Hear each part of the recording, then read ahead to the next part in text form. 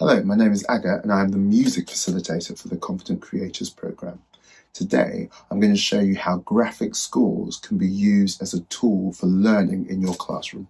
So, what is a graphic score?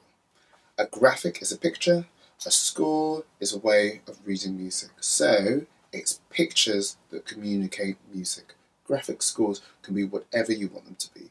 They can be squares, they can be triangles, they can be it can look like a house, it can look like a cat. Whatever your imagination makes up. So let's make a graphic score. It's always best to start with simple shapes. The clearer, the better.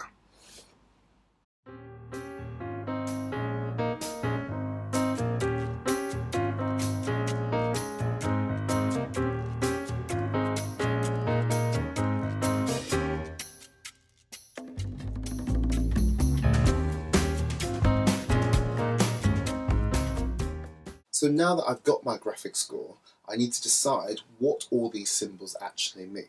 So I've decided my triangle is going to be a clap. A circle that's not filled in, okay, that's white in the middle, is going to be me breathing in. The circle that is filled in is me breathing out.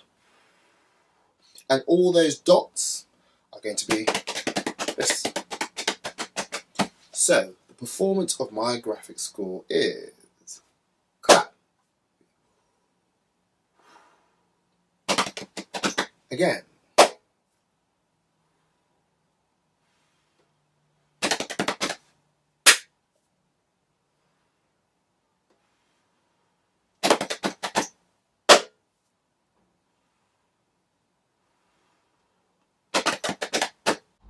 So how do you expand the activity? Well, you can place scores on top of each other, so have different graphic scores running simultaneously, so you can structure them in that sort of way. You can also experiment with doing the opposite activity, that is to say, creating the sounds and then writing the score in response to the sounds you've created. Once you've started with a simple graphic score, you can always build on what you've done. So have a go making graphic scores with your classroom. Good.